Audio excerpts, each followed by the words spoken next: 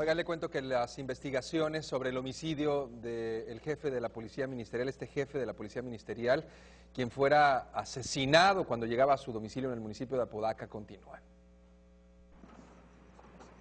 Como parte de la indagatoria que se inició para esclarecer el asesinato de uno de los coordinadores de la Policía Ministerial, la Procuraduría General de Justicia en el Estado ya investiga algunas amenazas que había recibido el coordinador del área de robos meses atrás.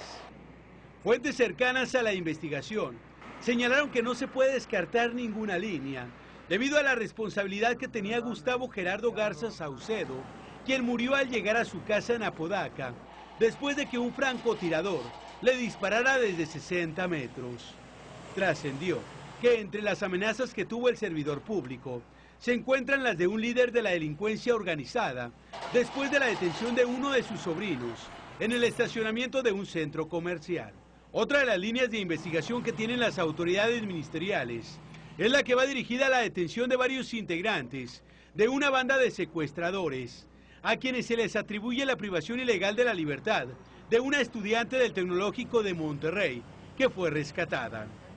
Mientras se continúa con la investigación en estas hipótesis, la Procuraduría General de Justicia en el Estado espera los resultados de un análisis pericial que se hizo al soporte de arma que se localizó cerca de la escena del crimen. Ángel Giner, Noticieros Televisa.